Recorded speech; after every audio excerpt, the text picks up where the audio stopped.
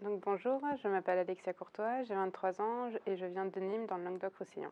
Initialement, j'ai eu un, baccalauréat scientifique. Euh, je me suis euh, ensuite orientée en DUT euh, Sciences et Génie des matériaux, donc formation B plus 2.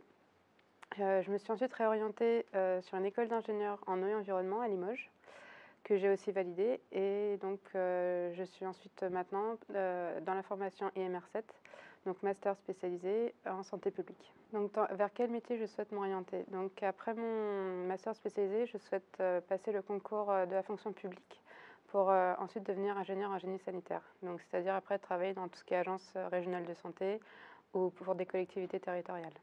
Ce que j'attends de la formation, c'est que donc, à la suite de mon école d'ingénieur, j'ai été formée aux problèmes liés à l'eau et l'environnement mais absolument pas euh, dans le, domaine de la santé. Donc euh, ce que j'attends, c'est avant tout d'avoir des connaissances dans la santé publique, euh, de connaître les différentes réglementations que l'on connaît dans ce domaine, et donc avoir cette, ce, domaine de compétences en plus.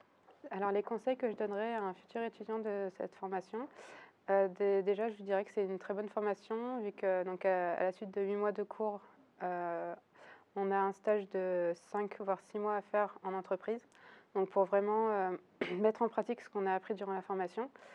Euh, on a ensuite un véritable réseau sur cette, formation car euh, tous les enseignants-chercheurs nous guident très bien à travers donc les différents organismes qui peuvent nous accueillir.